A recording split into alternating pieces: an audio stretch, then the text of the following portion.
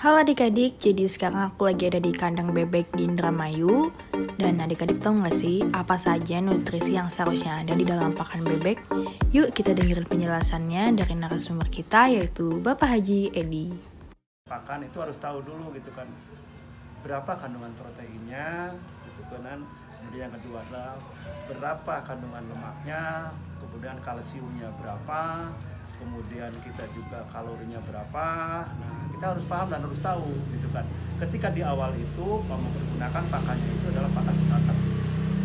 Kalau biasanya proteinnya itu adalah protein 23 ataupun 22 gitu kan. Kemudian dilanjut lagi yang kedua itu adalah pakan grower. Pakan grower usianya itu adalah 25 eh, ke atas gitu kan. Nah, itu baru pakai yang nama jenisnya itu adalah pakan grower kemudian yang ketiga adalah finisher. Pakan itu ada tiga gitu kan. Adalah pakan pertama itu bentuknya itu adalah uh, bentuk crumble yang kedua kemudian itu ada lagi ada bentuk mesh kan. yang ketiganya adalah bentuk pelet